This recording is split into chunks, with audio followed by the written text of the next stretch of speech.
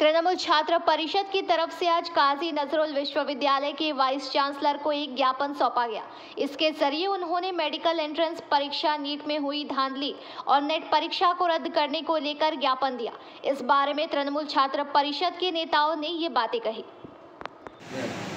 जो आज का हम लोग का काजी नजरुल विश्वविद्यालय तृणमूल छात्र परिषद का आंदोलन हुआ, वो हुआ मेनली एन जो है, उसने नीट एग्ज़ाम जो कंडक्ट करा था, वो कैंसिल किया गया।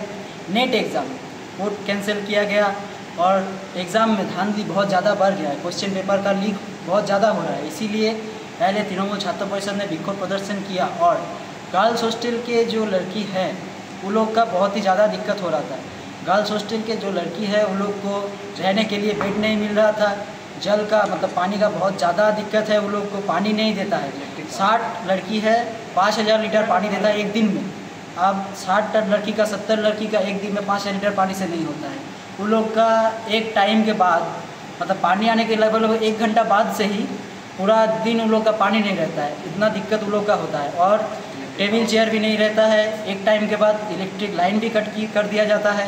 तो इसी सबको लेकर बीसी सर को बताया गया। पहले भी हम लोग ने बताया था इस बार भी बताया गया है। उन्होंने क्या बोले? सर क्या बोले? सर ने आश्वासन दिया है कि हम देखेंगे लेकिन अगर हम लोग बोले कि सर जल्दी जल्दी इसका समाधान कीजिए अगर जल्द से जल्द इसका समाधान नहीं हुआ तो हम लोग और बृहत्तर आंदोलन की तरफ़ बढ़ेंगे और तृणमूल छात्र परिषद जो है वो स्टूडेंट के हित में हमेशा खड़ा था और खड़ा रहेगा।